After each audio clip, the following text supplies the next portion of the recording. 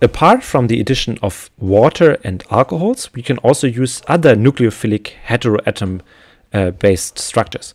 Something that comes to mind uh, immediately is the use of uh, amines. Amines are this nitrogen based uh, organics. They also feature a lone pair, and this lone pair can again uh, attack in this nucleophilic addition reaction the uh, positively charged carbonyl uh, atom here.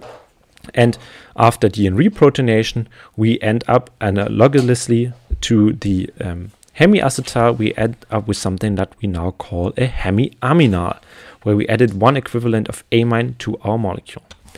But we are not done here at this stage. As we've seen with the hemiacetal and the hemiketal respectively, uh, the hemiaminal can also react uh, uh, can also react further. But this time, um, it's not the same way of forming directly in aminal, but we will see here now, our um, hydro hydroxy group gets protonated, water gets eliminated, we get this um, uh, this stabilized um, carb cationic structure that's stabilized also by the plus M effect of the nitrogen. But now, because our nitrogen has one excess proton that our alcohol previously did not have, this proton can also eliminate to stabilize this, uh, this uh, cationic uh, intermediate here. And then we end up with something that we call an imine.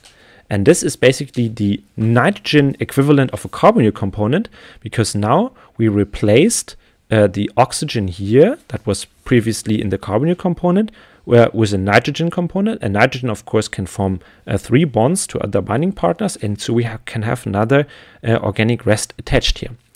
Important to realize is that this only happens if you're using a primary amine, because you need to deprotonate twice. First, you need to um, deprotonate here after the initial addition step. So here's where one of the protons get lo gets lost and we are only left with one proton. And for the formation of the imine, we also need to have this second uh, proton available. And this is then what gets eliminated uh, a second time. And that's why, why uh, primary amines form these imines and do not form, for example, what we would expect like an aminal. Uh, important as well is also the pH of the reaction in this case. If we are too low with our pH, then our primary amine gets directly protonated and then it's not nucleophilic because the um, lone pair here is masked by the protonation or and by binding the proton of course. And if we are too basic, then our heminal is not uh, deep uh, is not deprotonated because that needs to happen here uh, in this case. And if it's too basic, uh, then this does not happen and then we also stop at the uh, hemiaminal stage. So that's are the two steps. Um, what you can ask yourself, of course, is, is it somehow possible to also uh, use other amines? They are, of course, uh, apart from primary amines, they are also secondary amines. And this is what exactly happens here.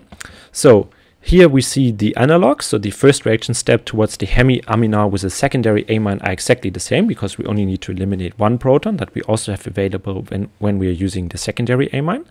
But after, when we need to deprotonate here to form the final uh, imine here in this case, um, then this is not possible because we are we don't have any protons left in this case, but instead we have two organic uh, moieties left in this case.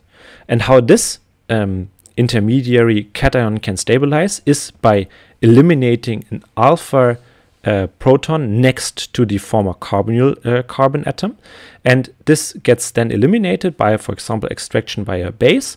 And this cation then stabilizes. And then we form something that is called an ane amine. So we're having a double bond next to an amine group here.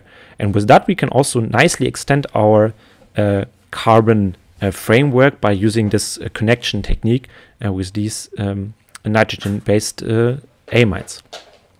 And of course, to answer your final question, uh, if we are using a secondary amine and we are not having alpha acidic protons next to our carbonyl group, then we indeed form uh, the full basically form the full aminal, what we then call an aminal.